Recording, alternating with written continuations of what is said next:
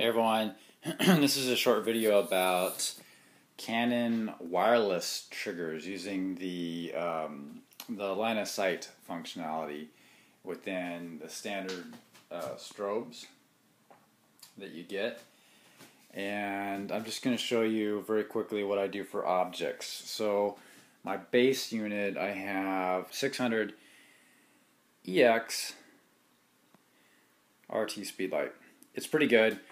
Uh, so I have it set to ETTL in master mode. Okay, and I have my camera on AV, and I'm going to make some changes here. 8 ISO 400, and I have an older Canon flash that's set up as slave. You have to make sure they're all in the same channels. Okay, the power difference is a lot on this one. This is a 420EX. And the key thing is you have to make sure that they're line of sight lined up. So make sure you need to have make make sure you have a blinking dot here and this blinking dot within the line of sight of the sensor on the main master flash. Okay, so then I have over here, and this is somewhat overkill, but I'm just trying to show you what I'm doing here. A Canon 580EX, again, less power than the main flash. And ignore these radio things, but I'm just showing you the line of sight functionality for the Canon here. Again, they need to see each other. I happen to have a Kershaw Skyline laid out on just a white cloth. I have the 100 millimeter lens going and I'll show you what I'm doing. I'm angling this one straight forward. I could angle it up to diffuse it a little bit.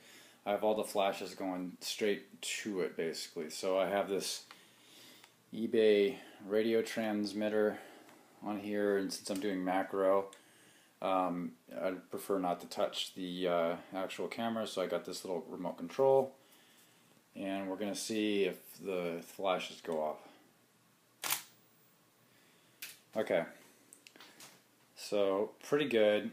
You the thing with these things is you're gonna have to do a lot of trial and error to get the perfect balance of uh, flash.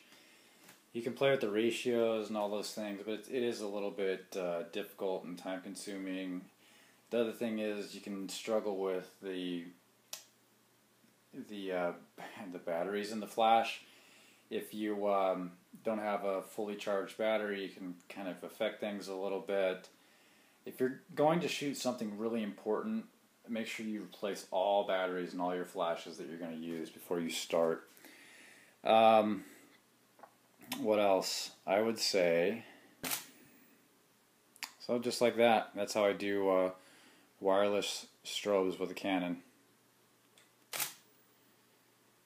Okay.